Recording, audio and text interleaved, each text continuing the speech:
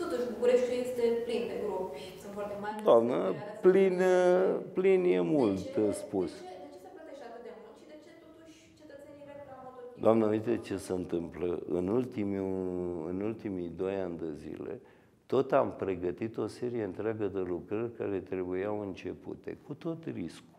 Doamnă, s-au făcut rost de fonduri europene pentru ca să schimb toate racordurile de gaze și țevile primare, pe unde vine gazul. Doamne, am văzut atâtea în viața mea și ați văzut și dumneavoastră, în toată țara.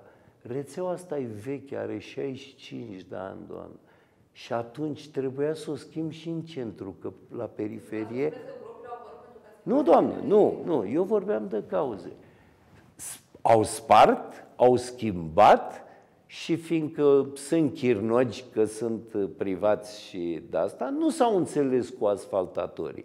Asfaltatorii au venit și au pus niște condiții, ăștia au pus niște condiții, am făcut și pe negociatorul între ei. Bă, frate, dar înțelegeți-vă că eu n-am de gând să pierd 300 de milioane de euro ca să schimb rețeaua de gaze.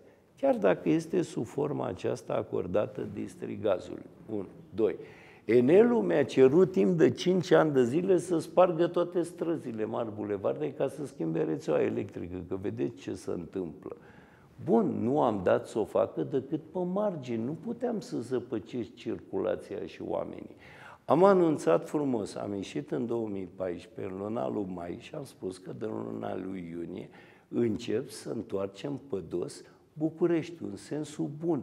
N-am ce să fac, doamnă. Le-am refăcut. Cu gropile care au...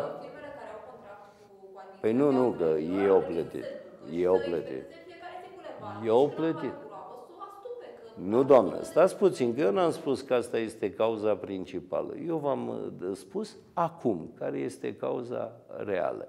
Din cei 140 de milioane, doamne, alea au fost prevederi.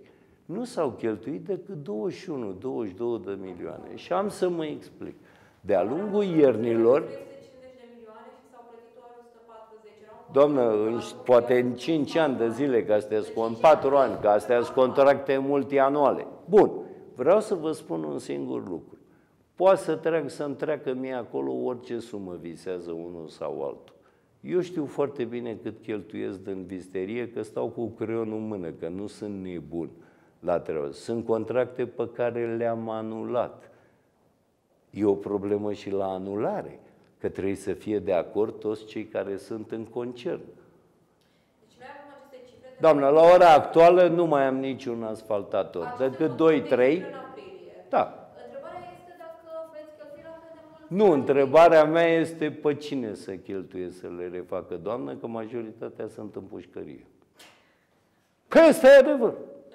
Doamnă, ăsta e adevărul. Deci îți face economie pentru că... Doamnă, doamnă, ă, Beșiu e în ă, supraveghere de asta juridică sau cum Dumnezeu să cheamă.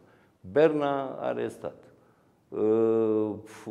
Ăilalți câțiva subantreprenori arestați. Doamnă, ce să fac? Asta mi-a fost problema pe Iancului, doamnă. Iancului trebuia să-l termin până la sfârșitul anului trecut, 2014. Ce să fac, doamnă? Ce să fac?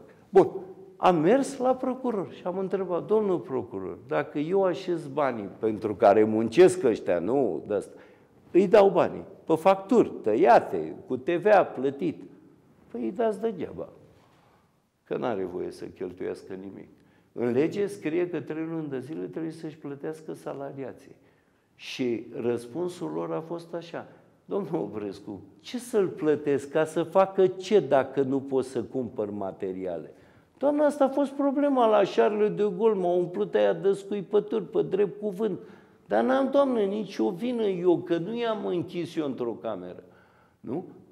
N-am ce să... Așa a fost pe calea victoriei. A dat Dumnezeu însă și a fost înțelegător băieții ea, nu, că nicio limbă de catifea, că n-am eu, cred că sunt ultimul care fac prozeliți pe teme de astea. A fost de acord procurorul, am dat peste un băiat deștept, care a fost, așa-l consider, și a spus, bun domne, foarte bine, este în insolvență, are administrator, are nu știu ce, să-și continuă lucrările.